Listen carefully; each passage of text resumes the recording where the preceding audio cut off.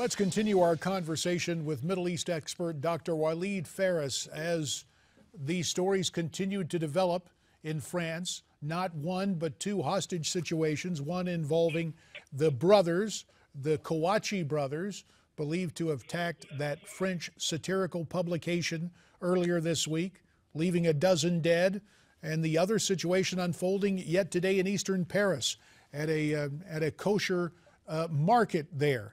Walid, we were talking earlier, and uh, as we were heading into the break, sounded to me as if you were you were accurately describing what I would call the paralysis of being politically correct.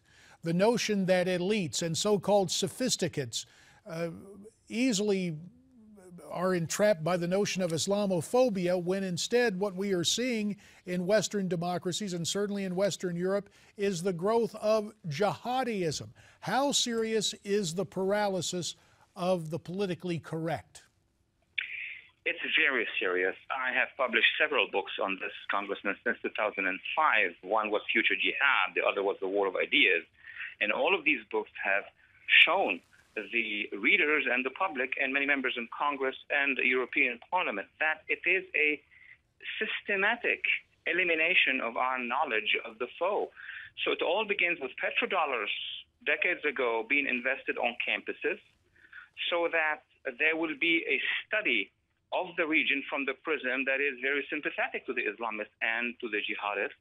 So now you have hundreds and hundreds of advisors, of academic intellectuals who are framing the debate with the executive branches mostly, more so than with Congress, with media. So now this elite is blocking the governments, various governments, from understanding what the threat is, diverting them into other issues such as, oh, they don't have jobs. What do you mean they don't have jobs? In England, there were 45 medical doctors who makes a lot of money who were involved in these kind of jihadi activities. The donors are very rich. So it's not about economics, it's about an ideology. So yes, our governments have been submitted to an influence by an organized lobby to take away, to derail our national security analysis. And I hope that the next Congress here, the next European Parliament in Europe, will, will address this issue very seriously.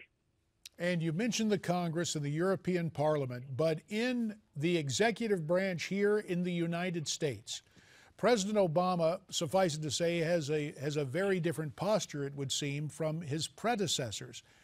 What should President Obama be doing now, and do you think he will take some action to prevent these kinds of attacks here?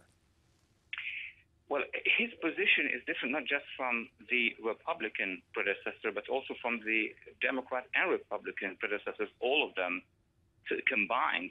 The problem is that this, this administration, the president, are receiving a perspective and analysis and advice from a a whole pyramid of advisors who are uh, advising that we should not engage in a confrontation with the jihadists. We should make concessions. We should strike a deal with Iran. We should withdraw from the region. We should not strike at Assad. We should be the partners of the Muslim Brotherhood. So, Congressman, it's not just about few incidents, about policy. What to do?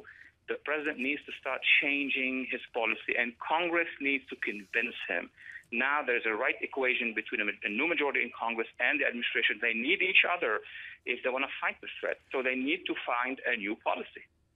Walid, 45 seconds remain.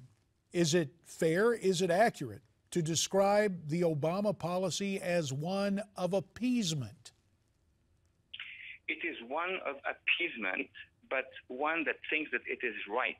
It's not just let's do appeasement because we don't want to go into a complicated world they actually think that they are solving the issue. They're reading of the results on the ground in the region and now across the Atlantic is wrong, and it needs to be corrected and to be corrected on a strategic level. Middle Eastern expert Walid Phares, we thank you for your time and your insights. We would point out that the video we were showing there just a second ago was of President Obama signing a book of condolence at the French Embassy in Washington, D.C. Uh, this story continues to develop, or these stories, and we'll continue to follow them as America's Forum continues here on Newsmax TV.